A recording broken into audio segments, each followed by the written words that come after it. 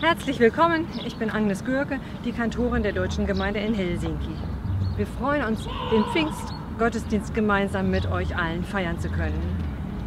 Und ich freue mich auch, ich bin Matti Fischer, einer der zwei Pastoren hier in Helsinki. Im Hintergrund seht ihr unsere deutsche Kirche und seid eingeladen, mit uns zusammen den Gottesdienst zu feiern.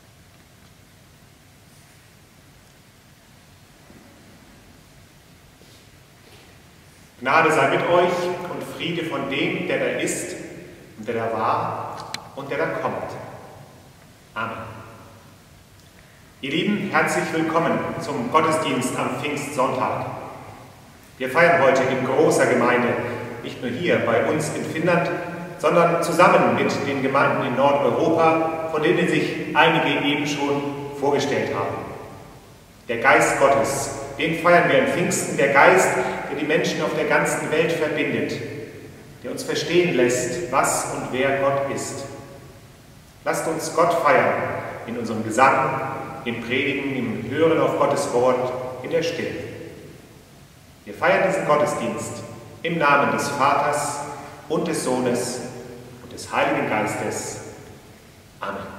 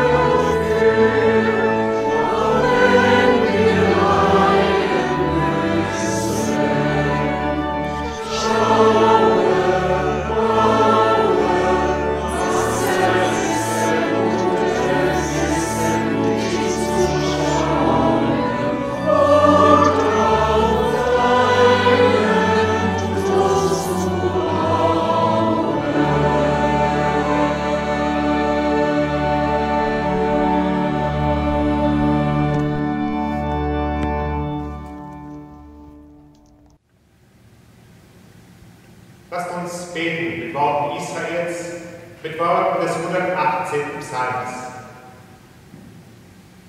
Gott ist meine Macht und mein Psalm und ist mein Heil.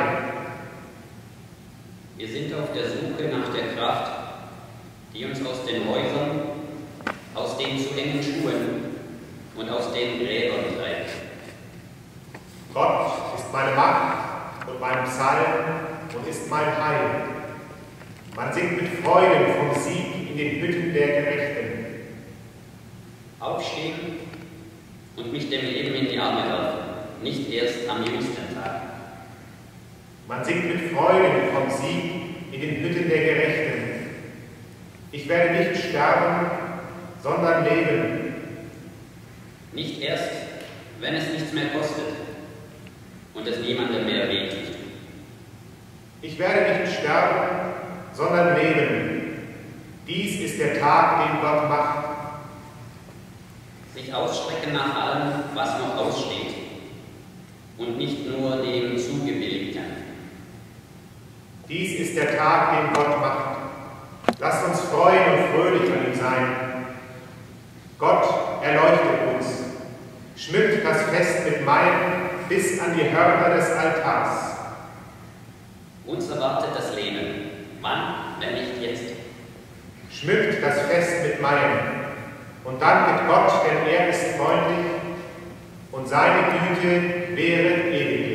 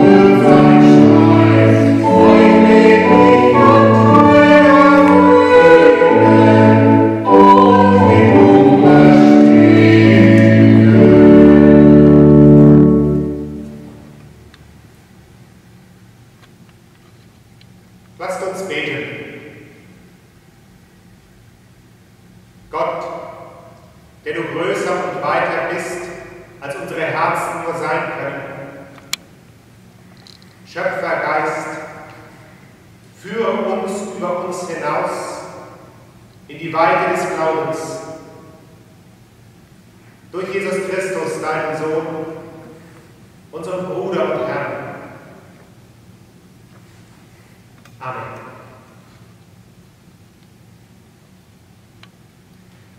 Pfingsten, das Fest der weltweiten Kirche.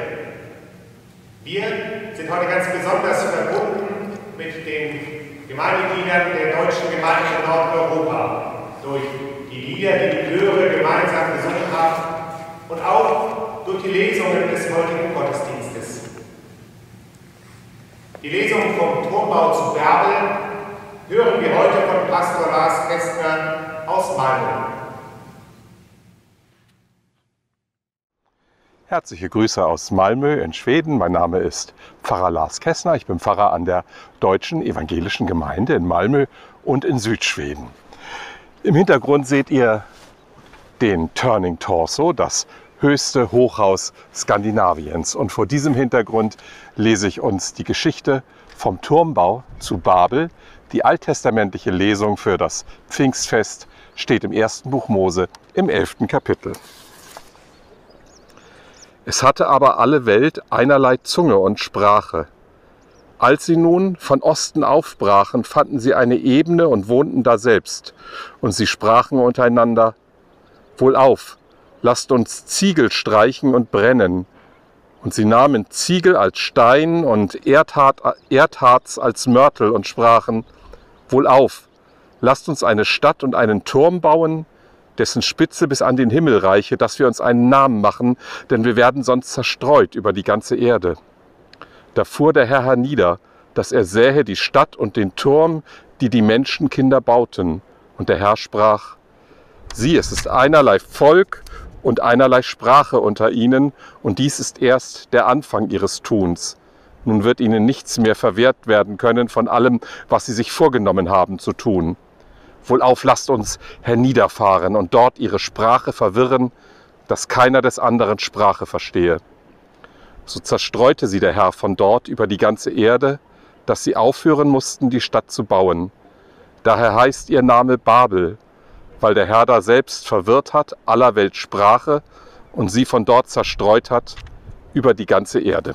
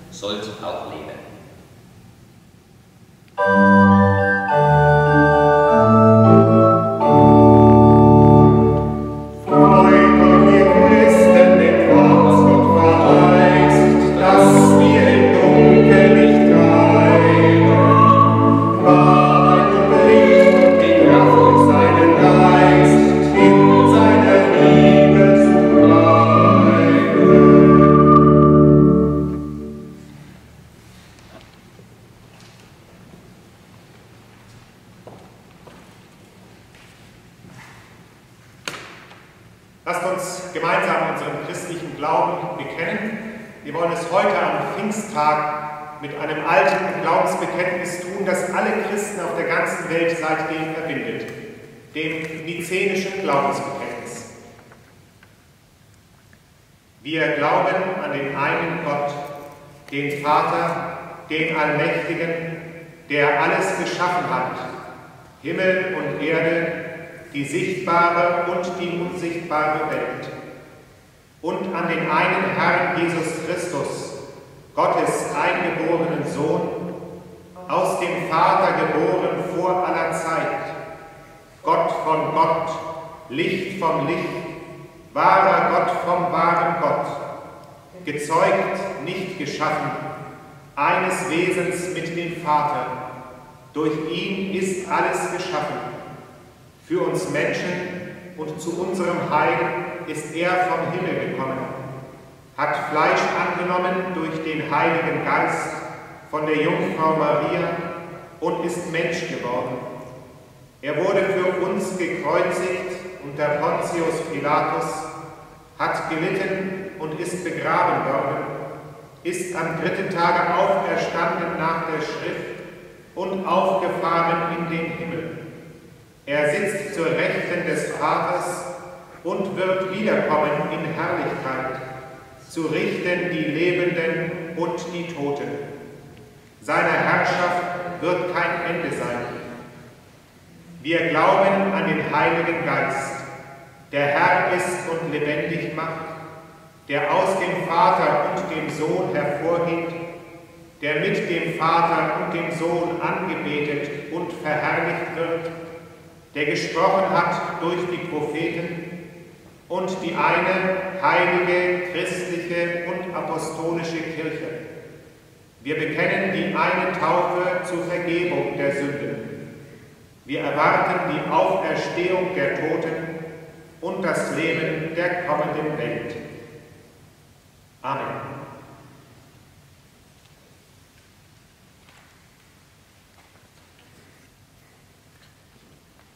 Die Liebe unseres Herrn Jesus Christus, die Gnade Gottes und die Gemeinschaft des Heiligen Geistes sei mit euch allen. Amen. Pfingsten ist ein verrücktes Fest. Es ist ein Fest, das von verrückten Menschen erzählt, von Christinnen und Christinnen, die verrückt werden, weil ihnen der Geist Gottes durch Mark und Wein geht. Das, so erzählen wir es, das ist die Geburtsstunde der Kirche. Menschen werden von Gott verrückt. Überall auf der Welt wird es am heutigen Tag gefeiert auch in den deutschen Gemeinden auf der ganzen Welt. Wir sind verbunden mit den Gemeinden in Kopenhagen, in Malmö, Stockholm und Göteborg, in Oslo und in Tallinn. Hören wir das Pfingstwunder, gelesen von Matthias aus Tallinn. Ein ganz frohes und gesegnetes Pfingstfest wünschen wir hier von der deutschsprachigen Gemeinde in Estland aus unserer wunderschönen neiderweckenden schwedischen St. Michaeliskirche hier in Tallinn. Möget, mögt ihr alle ein schönes und frohes Pfingstfest verleben. Unser Lektor Bodo Barz liest jetzt den, äh, den, äh, die Epistel. Als der Pfingsttag gekommen war, waren sie alle beieinander an einem Ort. Und es geschah plötzlich ein Brausen vom Himmel wie von einem gewaltigen Sturm und erfüllte das ganze Haus, in dem sie saßen. Und es erschienen ihnen Zungen, zerteilt und wie von Feuer, und setzten sich auf einen jeden von ihnen. Und sie wurden alle erfüllt von dem Heiligen Geist und fingen an zu predigen in anderen Sprachen, wie der Geist ihnen zu reden eingab. Die Jünger werden verrückt Voller Traurigkeit waren sie in Jerusalem zusammengekommen. Sie wollten sich noch einmal an Jesus erinnern, wie das gewesen ist, als sie mit ihm unterwegs waren. Und plötzlich, plötzlich war es wie Feuer im Raum. Sie sprachen in fremden Sprachen, in Sprachen, die sie selber gar nicht verstanden am Anfang. Doch sie waren nicht allein. Wer bei ihnen war in dieser Stunde, Davon liest Raya aus Kopenhagen. Es wohnten aber in Jerusalem Juden, die waren gottesfürchtige Männer aus allen Völkern unter dem Himmel. Als nun dieses Brausen geschah, kam die Menge zusammen und wurde verstört, denn ein jeder hörte sie in seiner eigenen Sprache reden. Sie entsetzten sich aber, verwunderten sich und sprachen, siehe, sind nicht alle diese, die da reden, Galiläer? Wie hören wir sie denn ein jeder in seiner Muttersprache? Pater und Pater, Pater und Lieder und da wohnen in Mesopotamien und Judäa, Kappadokien, Pontus, Phrygien, Assyrien, Ägypten und Familien und Römer, die wohnen, Juden, Kreta und Einwanderer aus Kreta, hören sie in unseren Sprachen von den großen Taten Gottes reden. Die Jünger werden verrückt. Sie werden aus ihrer Welt verrückt hinein in eine andere Welt. Der Heilige Geist lässt sie in Sprachen sprechen, die sie selbst nicht kennen. Und plötzlich tauchen da Menschen auf aus allen damals bekannten Herren und Frauen Ländern. Und sie waren dort und konnten verstehen, was für die einen verrückt klingt, unverständlich, das wird für die anderen sehr verständlich.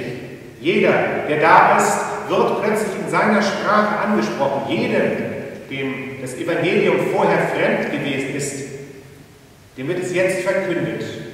Gott ist für dich da, für dich so, wie du bist. Du darfst verstehen, was Gott dir zu verstehen gibt. Da ist kein Gott, der nur für die Juden da ist, nur für die Christen, für die Muslime, für die Buddhisten. Da ist kein Gott, der ein deutscher Gott, ein finnischer oder ein schwedischer Gott wäre. Es ist ein Gott für die Menschen. Und das heißt, es ist ein Gott für jeden Einzelnen von uns und eben darin für die ganze Menschheit. Das heißt Pfingsten, Geist Gottes. Du, Mensch, verstehst, wer Gott ist. Dieses Verstehen geschieht nicht alleine hier im Kopf. Es ist kein Fürwahrhalten von irgendwelchen schlauen Sätzen. Wenn Gott sich dir verständlich macht, dann schüttelt das dein ganzes Leben durch. Dann ist es wie Feuer auf deinem Haupt. Dann gehst du raus in die Welt und bist ein anderer. Wenn der Geist dich ergreift, dann wirst du verrückt. Raus aus deinem lauten Leben, das du dir selbst immer wieder ganz umständlich verständlich zu machen suchst, hinein in das volle, in das helle Leben, das Gott dir zu verstehen gibt. Sie entsetzten sich aber alle und wurden ratlos und sprachen einer zu dem anderen, was will das werden? Andere aber hatten ihren Spott und sprachen, sie sind voll von süßem Wein. Da trat Petrus auf mit den Elf, erhob seine Stimme und redete zu ihnen. Ihr Juden, liebe Männer und alle, die ihr in Jerusalem wohnt, das sei euch kundgetan und lasst meine Worte zu euren Ohren eingehen. Denn diese sind nicht betrunken, wie ihr meint.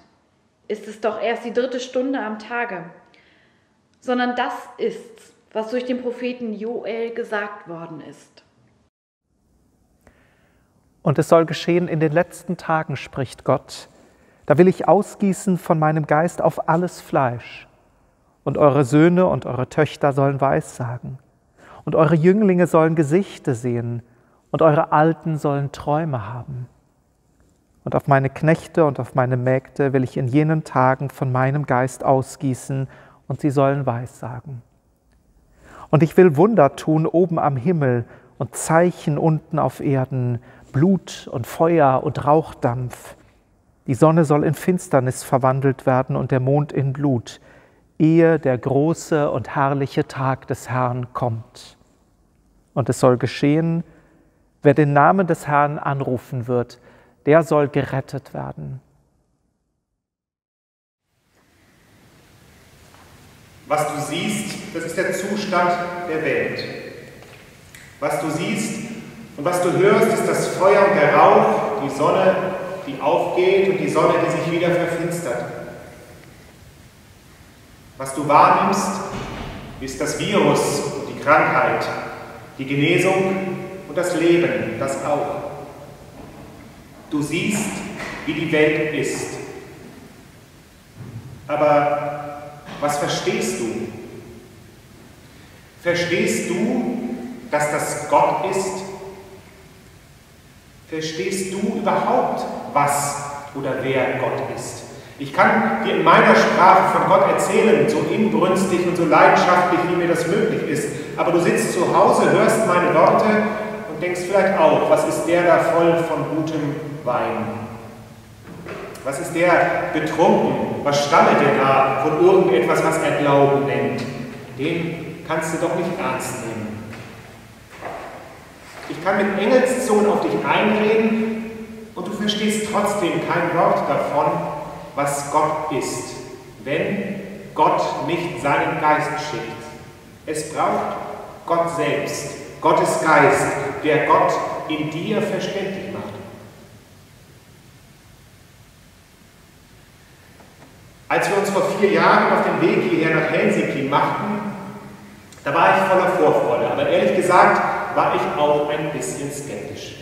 Ich dachte mir, warum gibt es eigentlich eine deutsche Gemeinde im Ausland? Und nicht nur hier, sondern überall auf der Welt. Warum gibt es fast 100 deutsche Gemeinden im Ausland? Ich dachte mir, ist das vielleicht am Ende so, wie der deutsche Metzger oder der deutsche Bäcker gut, um sich Vertrautes in den Magen zu schlagen, damit man in Heimatgefühlen schwelgen kann?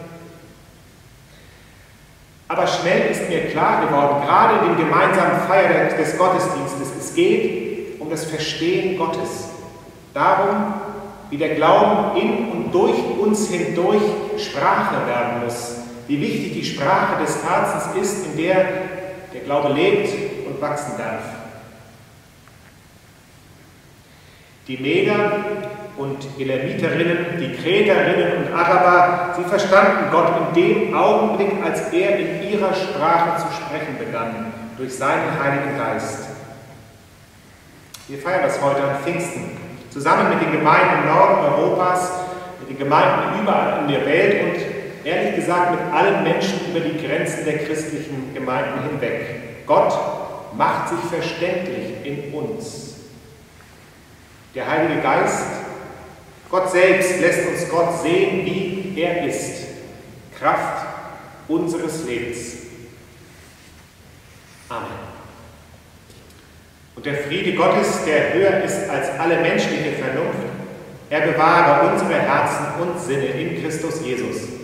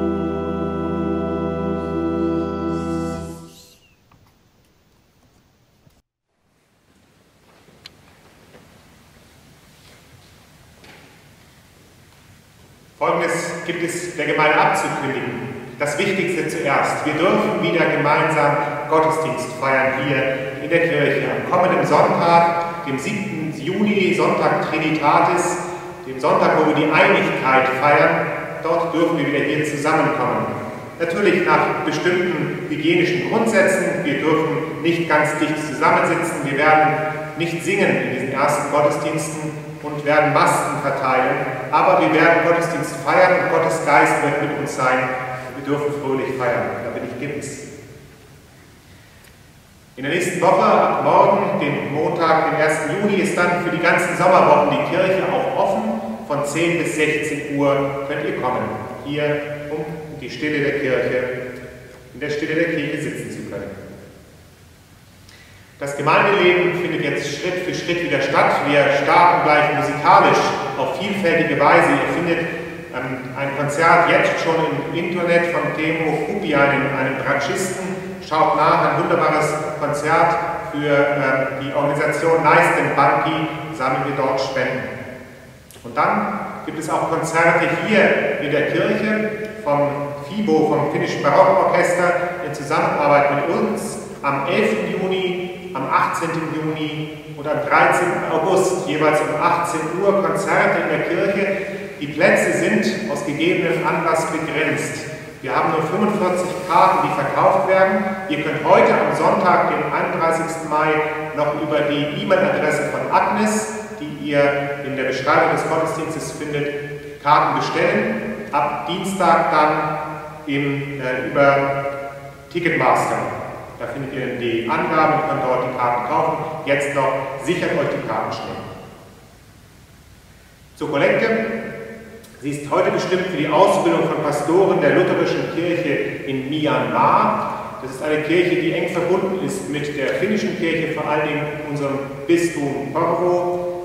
Die Angaben zu diesem Kollektenzweck findet ihr auch in den Angaben zum Gottesdienst und auf unserer Homepage.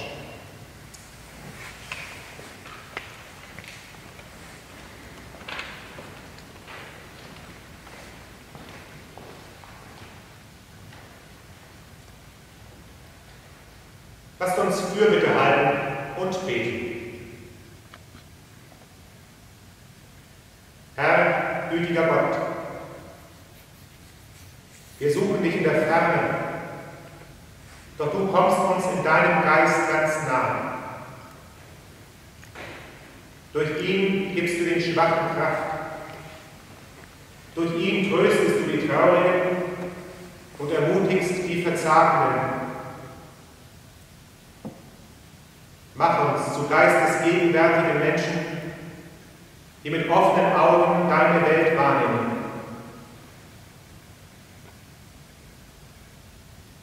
Dein Geist schafft Verständigung und Vertrauen.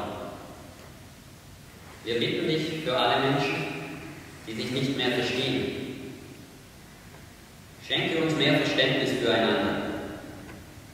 In unseren Familien, zwischen Eltern und Kindern, aber auch im öffentlichen Leben.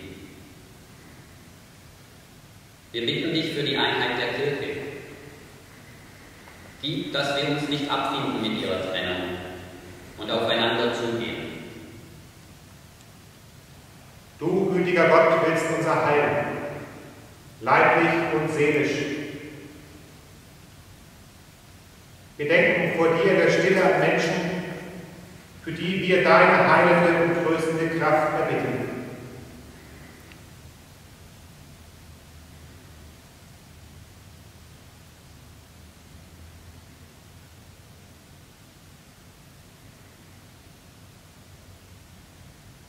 Gott, wir danken dir, dass wir hier in dieser Gemeinde miteinander beten und dich loben können. Wir beten gemeinsam das Vater unser. Vater unser im Himmel, geheiligt werde dein Name, dein Reich komme, dein Wille geschehe, wie im Himmel so auf Erden. Unser tägliches Brot gib uns heute und vergib uns unsere Schuld, wie auch wir vergeben unseren Schuldigern. Und führe uns nicht in Versuchung, sondern erlöse uns von dem Bösen. Denn dein ist das Reich und die Kraft und die Herrlichkeit in Ewigkeit. Amen.